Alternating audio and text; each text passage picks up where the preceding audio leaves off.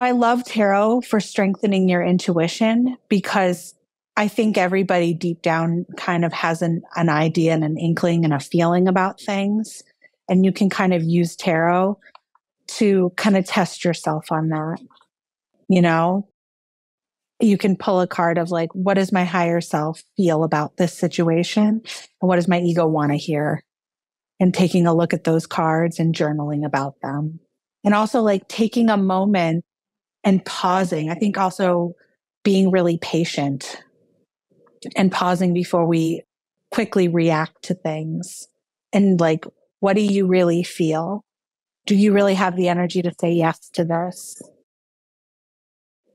or will you, you know, want to say no to it later? Stuff like that. So taking a pause, consulting your tarot, it confirms your feelings, especially if you're like, you're feeling like off about something, ask your tarot deck to like give you some like, are my feelings valid about this? Mm. And then seeing what comes up. And I think that also helps you get to know the difference between your voice of intuition and the voice of fear.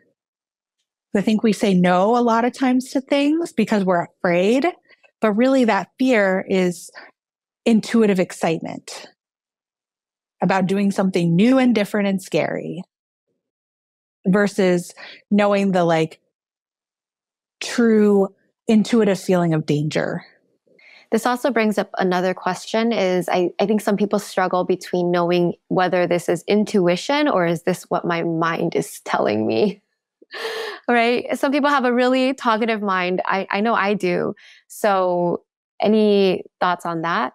I feel like when your mind starts looping and chattering and going on and on and on, and you're not getting to any clear message, that's when I, I'm like, okay, thank you, brain. I love you. I'm going to you're going to sit this one out and go on like, what is my gut feeling telling me? You know, if I did this thing, like, would I feel like happy and joyful? Or would I feel really like overwhelmed, put out? Like, what am I trying to talk myself into or out of? And just bring it back to feelings.